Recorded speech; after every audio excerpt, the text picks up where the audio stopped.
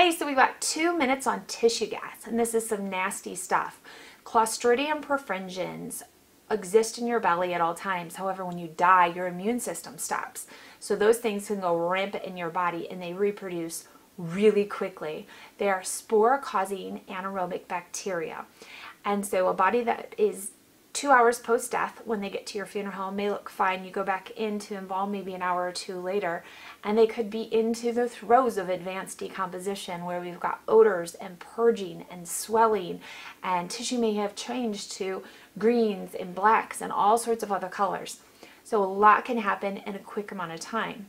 To the touch, the, the skin may feel crackly or bubbly because you've got that tissue forming underneath.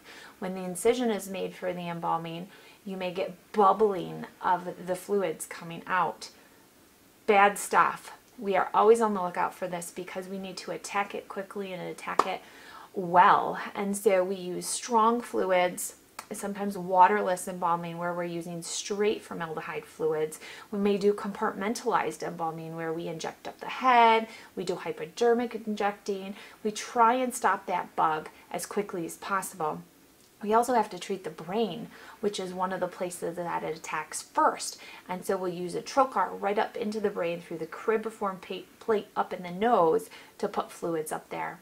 Bodies that we're always on the lookout even more so for this is somebody who has gangrene or ulcers or has had recent surgery, things of that nature where they were maybe exposed to other bacteria before death.